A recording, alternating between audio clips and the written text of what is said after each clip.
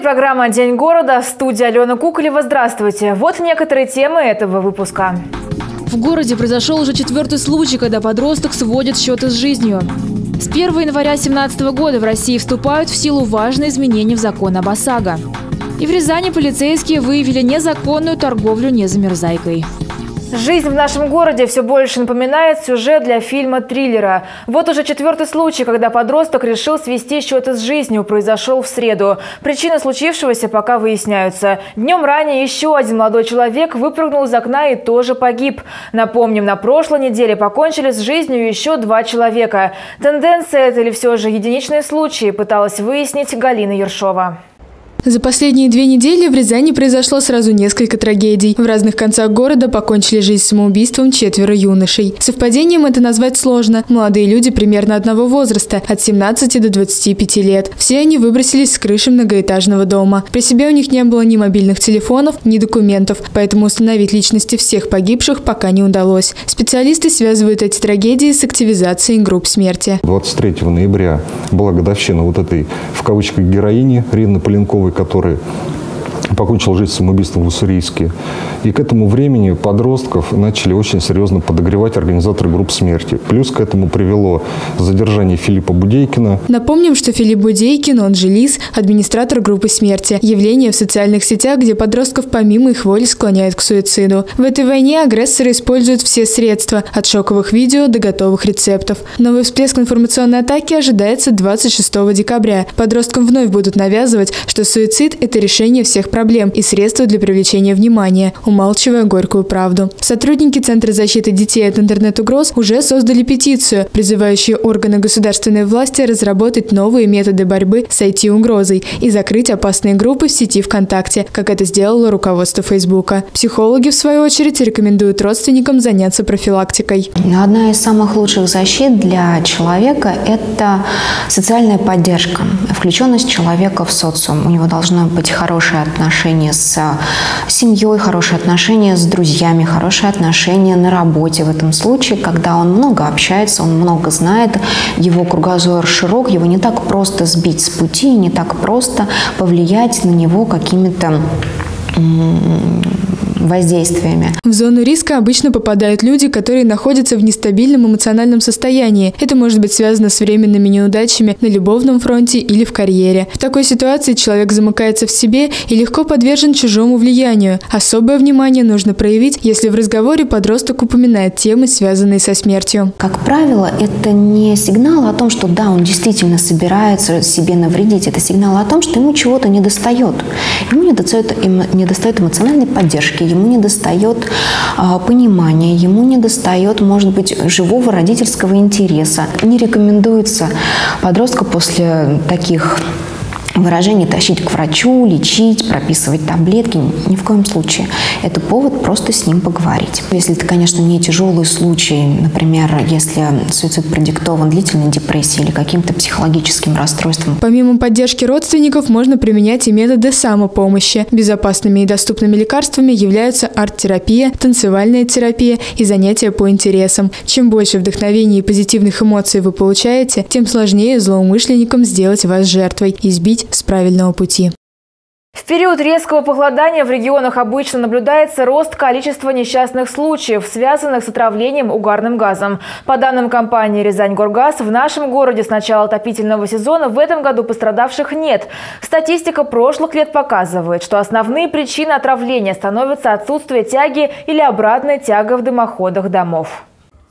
Холодное время года и необходимость много готовить. В преддверии новогодних праздников в домах рязанцев возрастает нагрузка на газовые приборы, а вместе с ней и вероятность отравиться продуктами его сгорания. Сотрудники газовой службы напоминают, что использовать природный дар для отопления квартиры категорически запрещено. Для успешной работы любого газового прибора нужен кислород.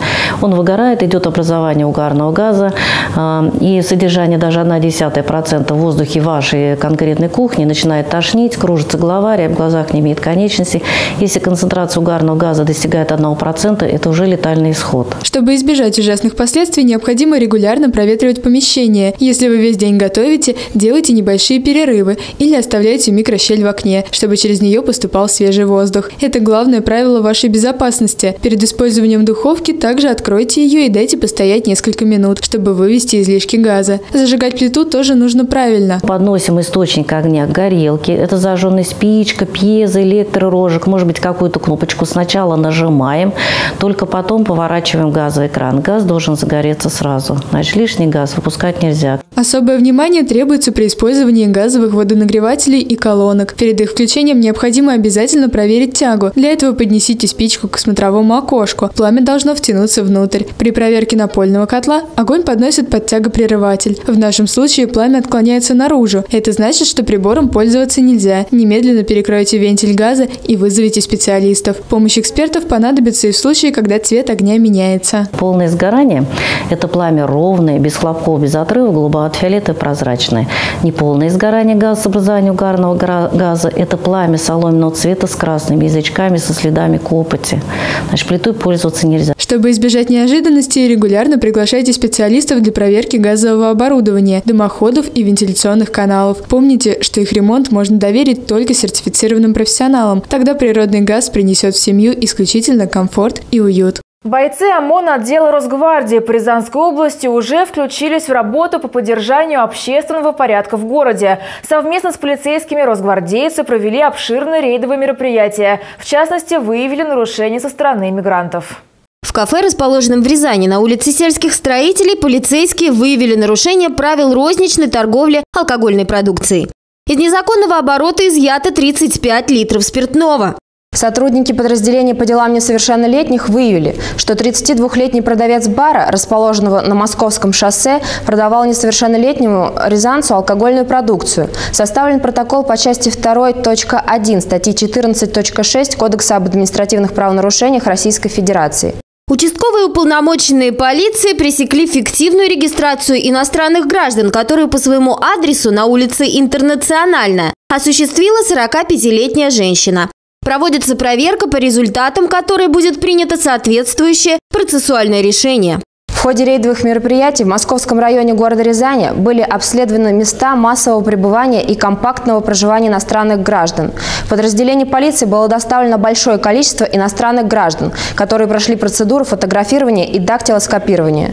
В отношении семерых иностранных граждан составлены административные протоколы по статье 18 КАП РФ «Нарушение иностранным гражданином режима пребывания в Российской Федерации». Нарушителям грозит серьезный штраф. В преддверии новогодних праздников полиция Рязанской области несет службу в усиленном режиме. Рейдовые мероприятия продолжаются. С 1 января 2017 года в России вступают в силу важные изменения в закон об ОСАГО. Одно из самых главных – обязательное введение электронного полиса. К числу поправок относится 10-й повышающий коэффициент, который будет учитывать количество нарушений правил дорожного движения водителям. Для злостных нарушителей стоимость ОСАГО вырастет сразу в три раза. 11 июня 2016 года Госдума сразу во втором и третьем чтениях приняла поправки в закон об ОСАГО, согласно которым с 1 января 2017 года электронный полис ОСАГО становится обязательным для всех страховых компаний. В случае, если оформление электронного полиса ОСАГО будет невозможным из-за проблем с сайтом или технических неполадок, страховые компании обяжут незамедлительно информировать об этом Центробанк. Также ЦБ РФ установит штраф в размере 300 тысяч рублей для тех компаний, которые не обеспечат возможность оформить полис ОСАГО онлайн. Однако сами страховщики уже сейчас скептически относятся к этому нововведению. По их словам, с 1 января 2017 года у многих система не сможет адекватно работать с большим числом заявок. На то, чтобы наладить электронный ОСАГО, может уйти несколько месяцев. Здесь же будет опять в первую очередь удар это по владельцам, потому что очереди на ремонт э, наверняка растянутся, это мое мнение, так как э, база база незначительная у нас. Страховым компаниям нужно будет найти э, больше автосервисов, э, которые бы отвечали всем критериям и требованиям. Это преследует благие намерения для того, чтобы уменьшить э, возможность каких-либо мошеннических действий, как сейчас говорят, со стороны не очень э, позитивной части нашего общества. Но, извините, мошеннические действия в нашей стране можно в любой сфере найти и применить. Еще одно новшество – десятый коэффициент, который будет учитывать количество нарушений ПДД. Разумеется, этот коэффициент будет повышающим. Если у автолюбителя, скажем, от 5 до 9 грубых нарушений в год, коэффициент составит 1,86. От 20 нарушений коэффициент вырастет до 2,45. И самый высокий коэффициент – 3,4 предусмотрен для тех, кто нарушит правило 35 и более раз. То есть для самых злостных нарушителей правил дорожного движения ОСАГО может подорожать более чем в три раза. Но специалисты утверждают, что оперативно внедрить коэффициент вряд ли получится. В Рязани полицейские выявили незаконную торговлю жидкостью с низкой температурой замерзания. Незаконный сбыт незамерзайки полицейские выявили на одном из рынков Рязани в рамках рейдовых мероприятий. В результате из незаконного оборота изъято 730 литров. Полицейские выявили, что в одной из торговых точек крупного рязанского рынка организован незаконный сбыт жидкости с низкой температурой замерзания. При этом проверка показала, что у торговца отсутствуют документы как на саму деятельность по сбыту незамерзайки, так и на товар. Также продукция имела признаки контрафактности. Из незаконного оборота было изъято 730 литров незамерзающей жидкости с признаками контрафакта. Образцы изъятой продукции направлены на исследование. По факту нарушения составлен административный протокол по статье 14.2 Кодекса об административных правонарушениях. Нарушителю грозит внушительный штраф. В преддверии новогодних праздников полиция Рязанской области несет службу в усиленном режиме. Рейдовые мероприятия продолжаются. Предновогодняя суета пришла в город, потому что самое время задуматься о новогодних подарках. Потоки автолюбителей в поисках подарков увеличивают привычные пробки. Очереди в магазинах растягиваются до выхода. Все стараются завершить незаконченные дела. И от такой суматохи попросту не скрыться. Чтобы не выйти из состояния равновесия, нужно помнить, что главное условие праздника – это хорошее настроение. А ожидание праздника гораздо лучше его самого. Наступление Нового года неизбежно, как и гонка за подарками и скидками по магазинам. Но как не попасться на удочку мошенников, выдающих желаемое за действительное? И что происходит в голове у людей при слове «скидка»? Об этом я сейчас вам расскажу. Стоит сказать, что в хороших магазинах товар, купленный по акции, можно вернуть обратно, если он не подошел по размеру, цвету или другим причинам. В перечень, конечно, не входят продукты питания, средства гигиены. Весь перечень можно увидеть в законе о защите прав потребителя. На днях Роспотребнадзор региона региона разместил в интернете памятку для рязанцев с тем, чтобы они не попались на уловки мошенников. Например, при участии в акциях, розыгрышах людям нужно внимательно изучить рекламное предложение. Возможно, в нем прописаны условия получения подарков. При получении подарка рекомендуется проверить чек, гарантийный талон или техпаспорт. Что касается психологической составляющей предновогодних скидок и подарков, тут у граждан выработан определенный рефлекс. Если скидка, значит надо покупать. По мнению психологов, это решение закладывает закладывается в голове человека с детства. Когда человек, э, например, э, видит ценник, да, который окрашен другим цветом, да, он уже обращает на него внимание. То есть э, вот уже вы повернулись в нужную сторону, да.